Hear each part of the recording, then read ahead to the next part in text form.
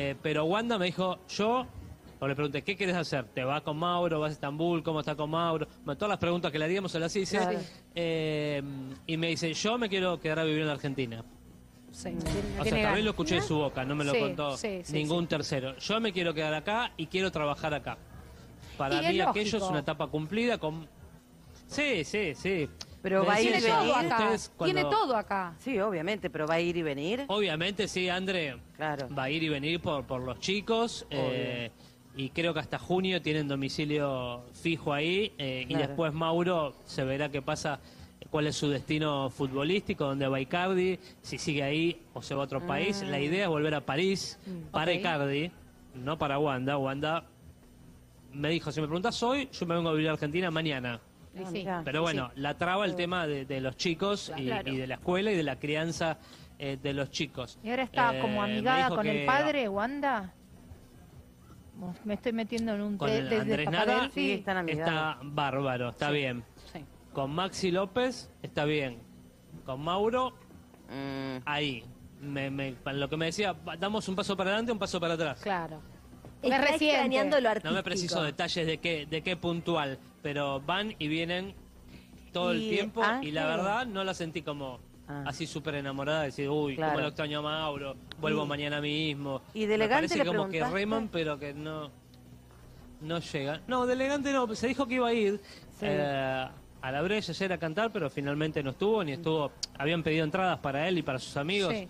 Eh, Wanda y Zaira, pero no fue ni Zaira, que no le, no le pregunté. Nos reímos un poco de, de todo lo que se dice, del escándalo, pero no, no le pregunté por qué no estaba.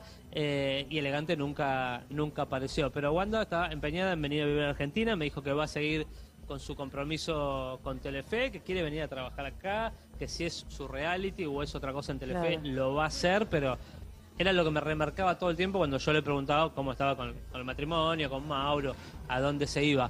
Eh, está muy divertida, o sea, mm, ¿Sí? ayer, ayer bueno. estuvo tirando Quiere palos volver a la en tele. vivo en Instagram, pero estaba relajada. Sí, ella quiere volver a hacer Quiere Wanda. volver. Ah, lo que me contaba con, con respecto a esto de que hablaba antes de las botineras y la vida en el exterior y bla, bla, bla. Me dice, vos pensás que yo estuve 25.000 años casada, me casé con Maxi eh, y mis papás tuvieron que firmar un permiso porque yo era menor de edad. Sí, era muy Claro. Me acuerdo que eso, eso lo dijeron en el O sea- programa de Susana Jiménez una vez, Sí. que cuando fue Maxi Claro. y Wanda.